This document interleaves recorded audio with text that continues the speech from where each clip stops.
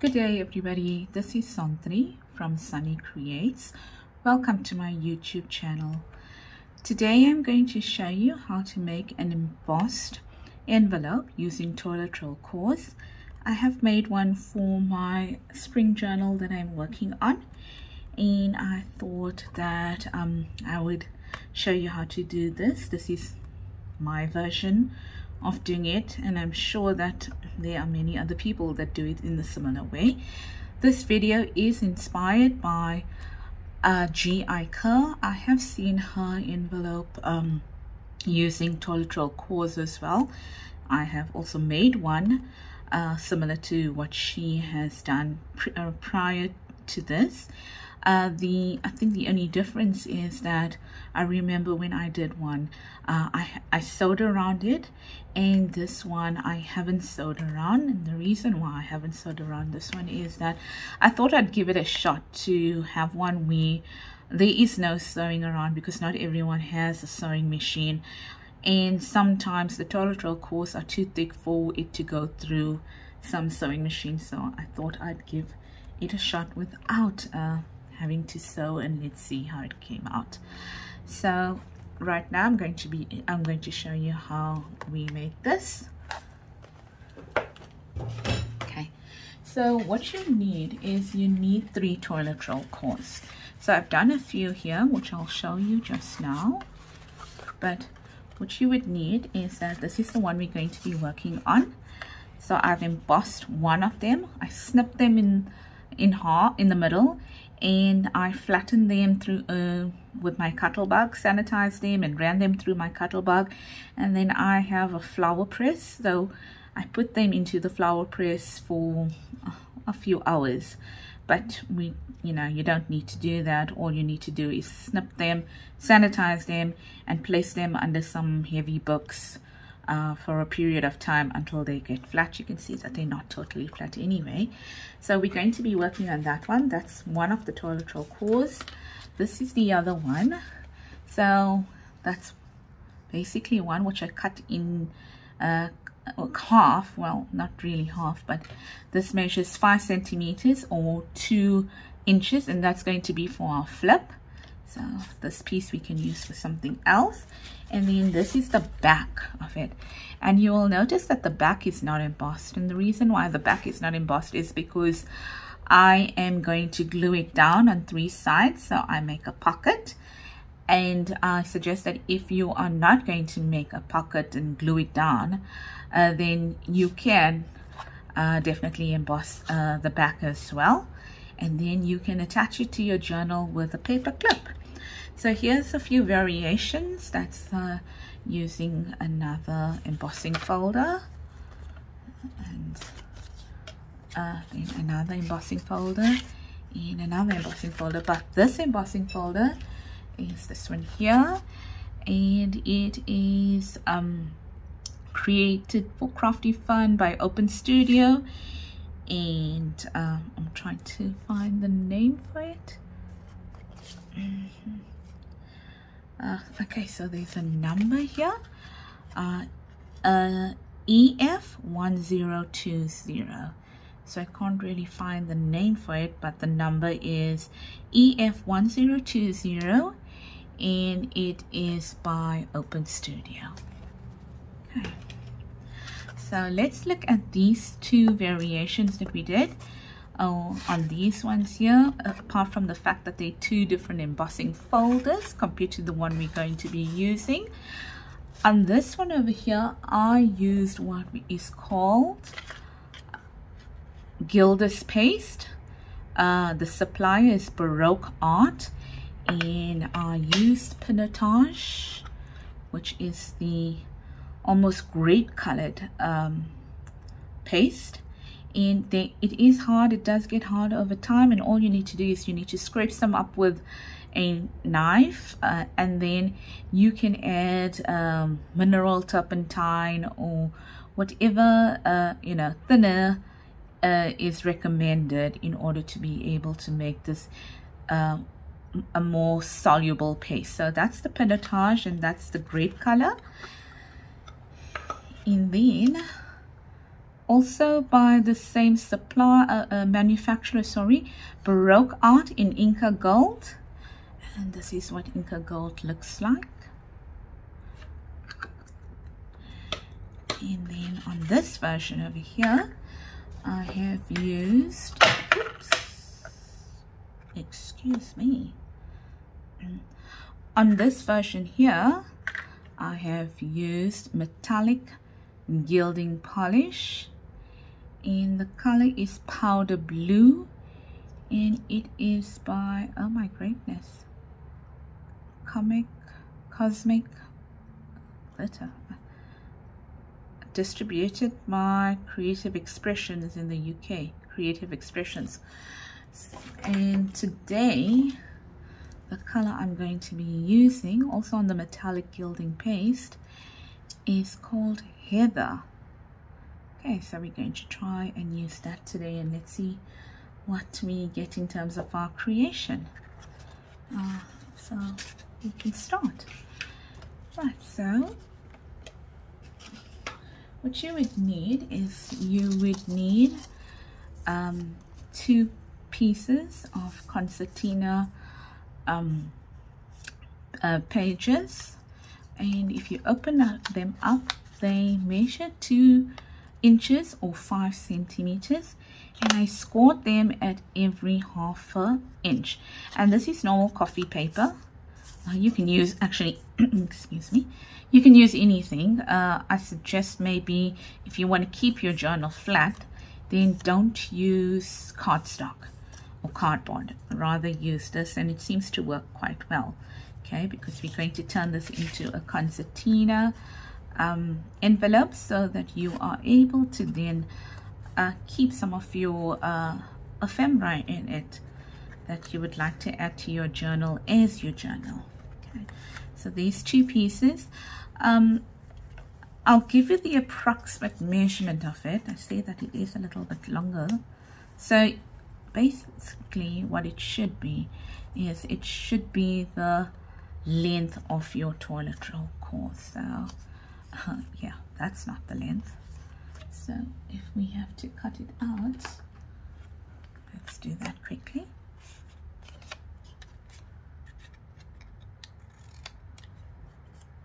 And then we can neaten it up later on as well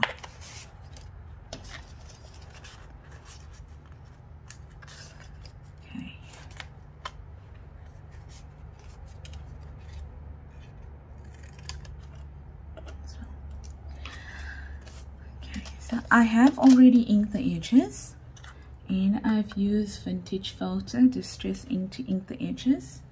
So that's what I'm going to do there.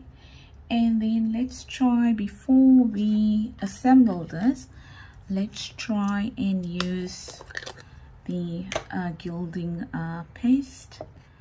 I'm going to use my finger because even though it comes with a brush hmm, I've had not much success with the brush as you can see it's quite clean. So let's use the finger.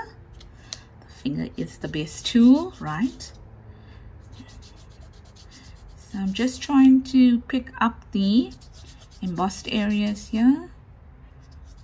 And, I mean you can cover this but uh, I don't want to add too much of bulk to my journal because as it is I kind of misjudged how thick it is and it does have a um, book cover so I had gutted a book previously and I thought uh, let me use the book cover. And yes so the journal is getting pretty thick so I'm trying to use or create a ephemera that really is going to be quite flat. Okay so that's that part there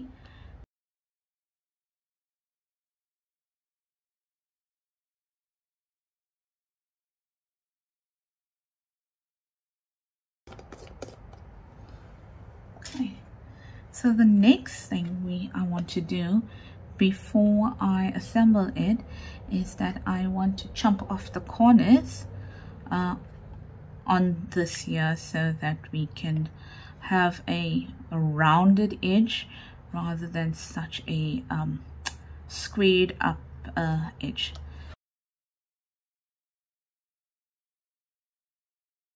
Allergies. Forgot to get my corner, my corner rounder. So here we go. Oh, that's not very neat, right? Mm -hmm.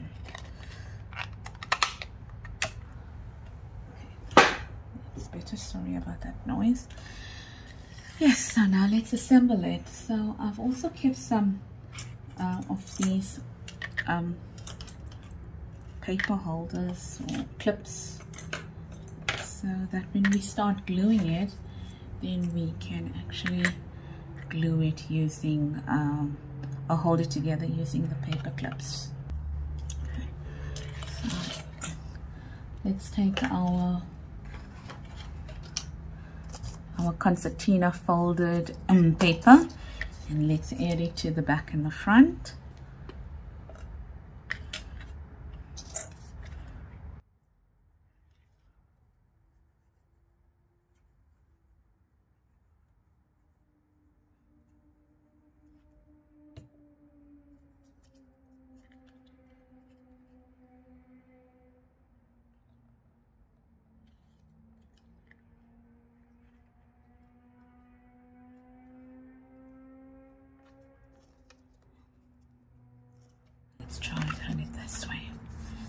if we turn it this way then we'll get a little bit more room within the envelope.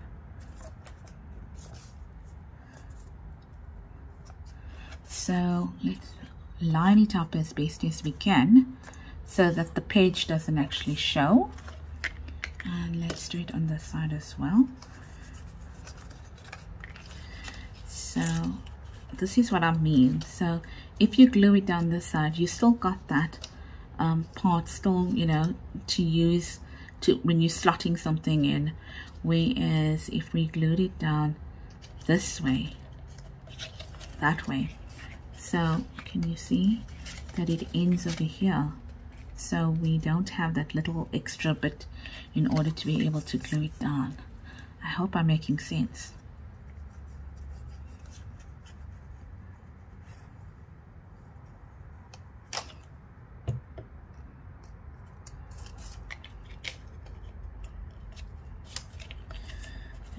Just try to line it up.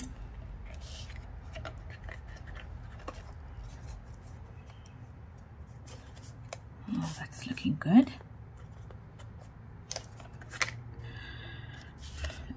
Mm, well, thankfully we have some time to play around with the glue.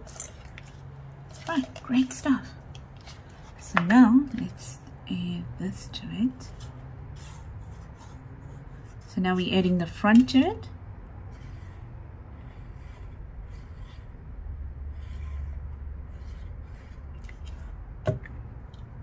Just want to add a little bit more glue onto this side. And make sure that our flowers are in the right direction.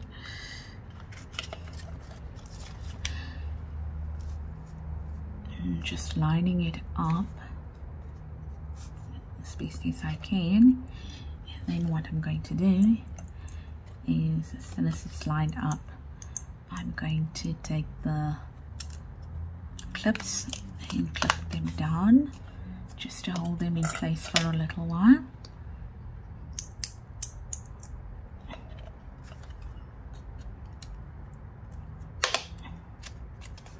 And let's do that on this side as well Okay.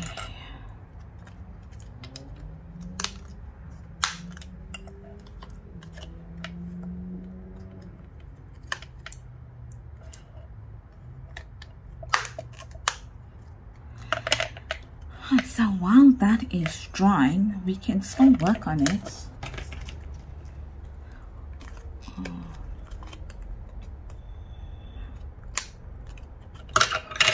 Sorry. so now we I've cut two pieces of material. Let's see how wide they are. They're approximately one and a half inches wide and um, long. It will be the length of your toilet roll core So what we're going to do now is we're going to glue one to the bottom and then the next one is we're going to take it to glue the flap over.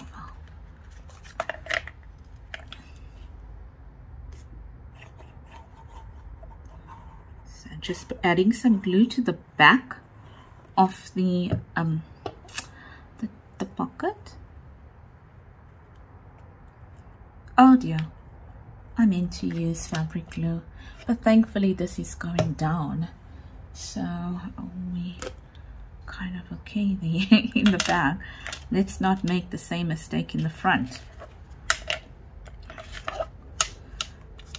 Just moving this clip a bit because it doesn't look like it's even. Mm -hmm.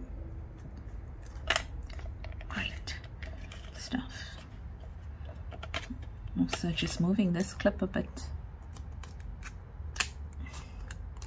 should be dry pretty soon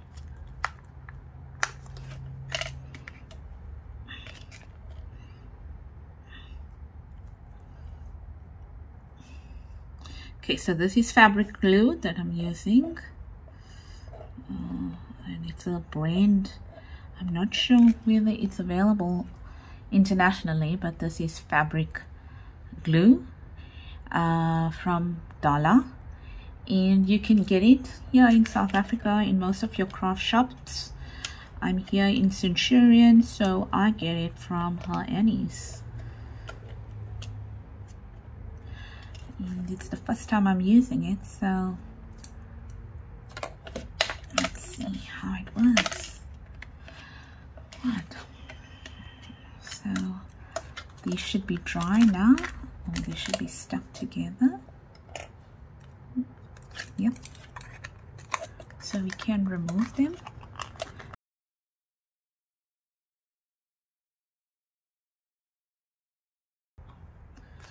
Okay, now we're going to do the back. And let's add some glue onto the back. now you can i just want to say that on the flip on the reverse side of the flip so this is the side that you know is going to go to the front and this is the reverse side of the flip so you can actually uh, put um you know glue a piece of pattern paper on it uh, if you would like but uh, to me it's unnecessary and I am trying to keep the uh, this project to be quite uh, thin or flat hence the reason why I am not doing that. So I'm going to just leave a little bit of a gap and I am going to then add that on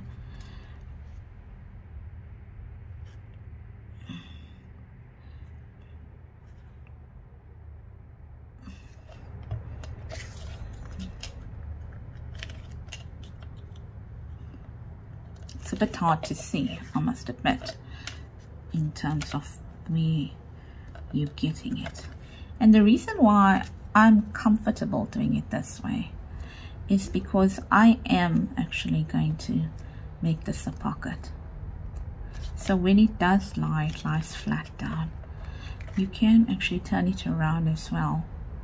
And you can actually add it to the front and then decorate the front if you want to. So for example you can do that and decorate it that way as well. Okay so maybe we should just do that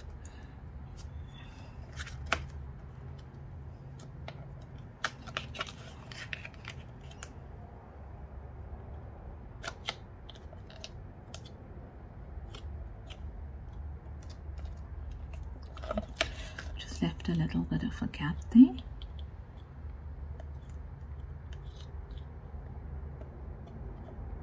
Okay, that's not sticking too well. Probably because we put glue initially on the wrong side. But my previous one, I did it that way. But I guess we can also do it this way if we know we're covering the front.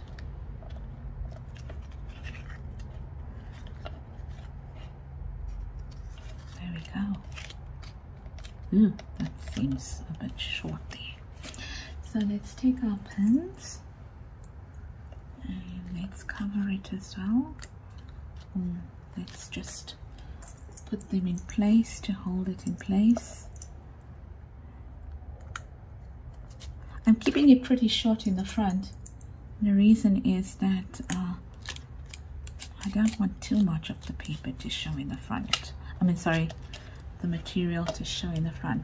So let's let that dry for a while and let's continue embellishing the bottom. Hmm, so this is just ordinary lace. I also got this from Herannie's and I'm going to be adding this to the bottom sort of there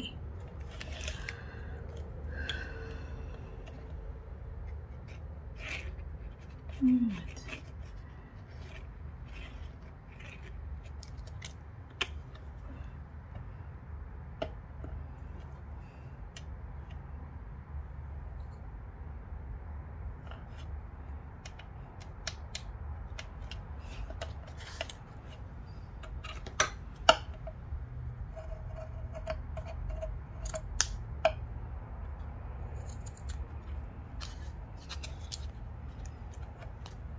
Sorry. Don't think I was in frame there. Okay so all I did is I added the lace and then I snipped it off to make it look a little bit neater. And then while that is drying I've got some yarn. I think it's called goodness gracious what is this called? I'll think of it and I'll put it down in the eyelash eyelash trim that's what it's called right?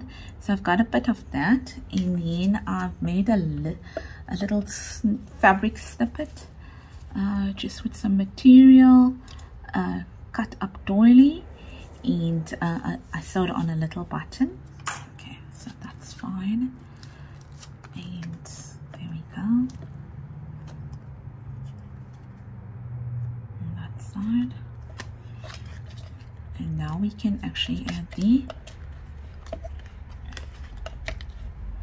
the lace to the top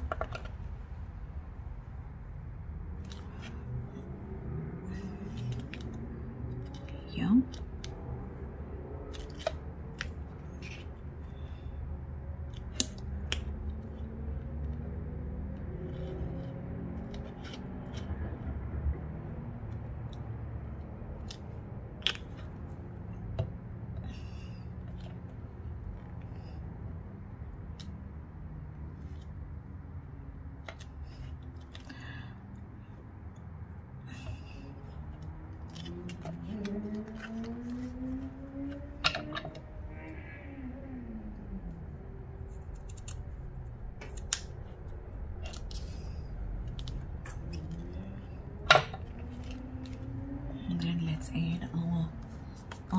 trim.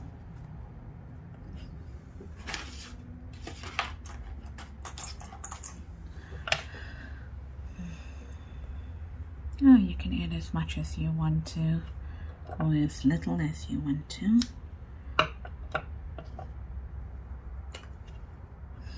So I'm going to add that there and then I'm going to take this and I'm going to place it here.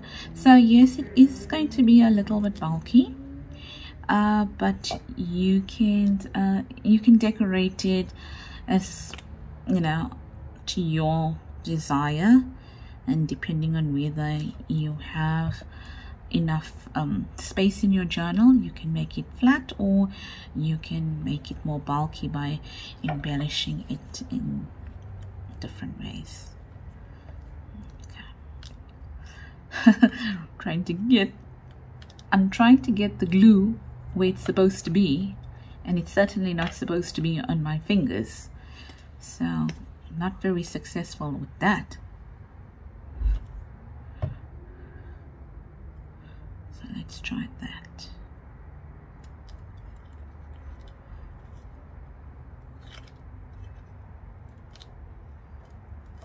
There you go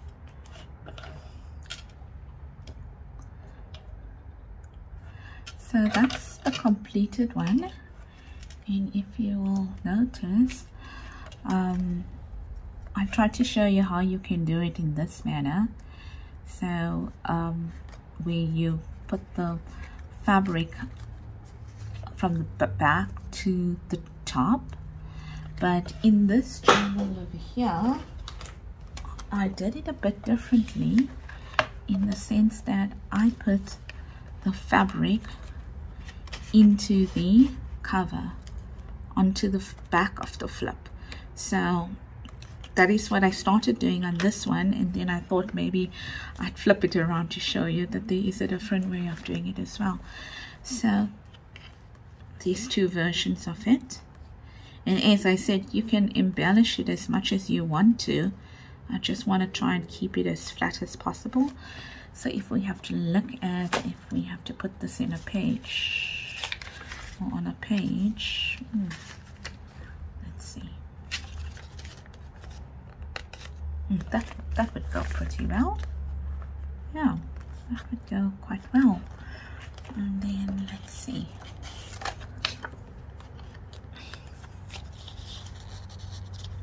You can add a little pocket there. Yes I like that. I think I might add that to there let's do it.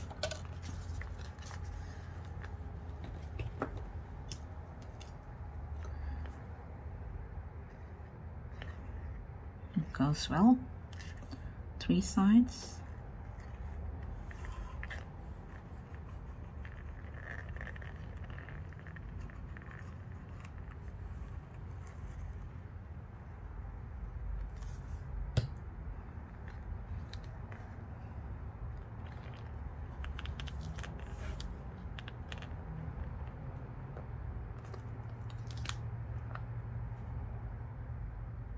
okay so we leave that to dry and then we will add that in there so there you go.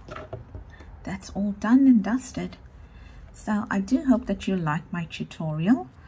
Uh, I'm trying to do as many um, ephemera where I'm using recycled products. So this is the third one in my series of using uh, recycled cardboard and um, if you like this video please give it a thumbs up and uh, please consider subscribing to my channel. I'd like to bring you more videos of this nature where I use recycled products in order to be able to um, embellish my journals. And um, thank you for watching. Thank you for spending your time with me. And I'll see you in a bit. Please do subscribe and do give me a thumbs up if you enjoyed this video. Thank you very much. So here's the one on this side.